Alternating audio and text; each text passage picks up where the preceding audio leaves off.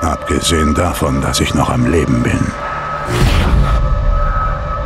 ist nichts davon überraschend.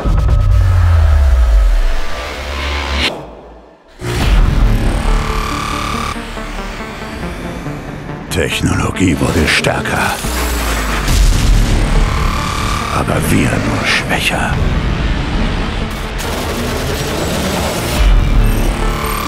Wir bauten Computer. Roboter. Ganze unbemannte Armeen. Und niemand fragt sich jemals, was passiert, wenn der Feind die Schlüssel stiehlt.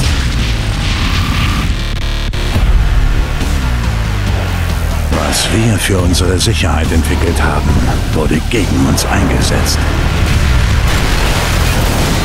Da haben sie es endlich erkannt. Sie brauchen immer Männer wie uns, die bereit sind zu tun, was andere nicht können.